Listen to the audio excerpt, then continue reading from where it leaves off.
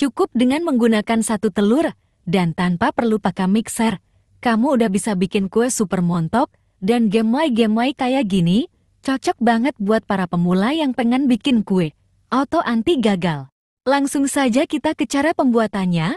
Langkah pertama, campurkan satu butir telur dengan 120 gram gula pasir, 30 gram margarin, dan vanili cair secukupnya. Lanjut ini diaduk sampai tercampur rata, adonannya berubah warna dan teksturnya halus, tidak perlu sampai mengembang, untuk mengaduknya cukup menggunakan whisker tidak perlu pakai mixer. Jika adonannya sudah tercampur rata dan halus kayak gini, masukkan satu bungkus susu kental manis, 250 ml santan, masukkan juga seperempat sendok teh garam. Selanjutnya ini diaduk sampai tercampur rata. Kemudian, masukkan 300 gram tepung terigu protein sedang dan satu sendok teh ragi instan. Aduk sampai tercampur rata, sampai tidak ada tepung yang menggumpal, adonannya pun mulus. Aduk lagi menggunakan spatula untuk memastikan semua bahan tercampur dengan rata. Selanjutnya, bagi adonan menjadi dua bagian sama banyak. Untuk satu bagiannya, beri pasta pandan secukupnya, lalu aduk sampai tercampur rata. Untuk bagian lainnya, tambahkan satu sendok makan coklat bubuk yang disaring, kemudian aduk sampai tercampur rata.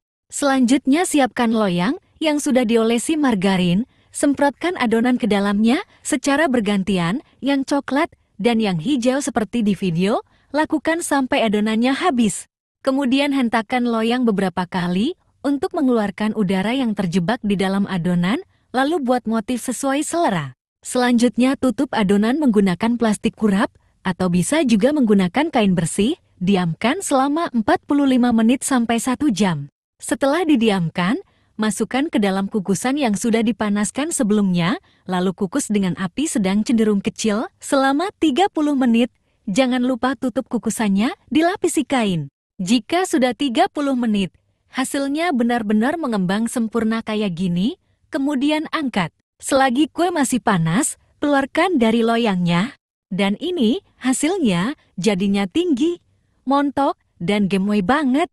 Selanjutnya potong kue sesuai selera, lalu sajikan. Untuk tekstur kuenya empuk tidak terlalu lembut, tapi tidak keras, rasanya perpaduan antara bolu dan roti, cocok banget buat dijadikan cemilan, disajikan dengan segelas kopi panas, atau teh hangat biar tambah nikmat. Selamat mencoba!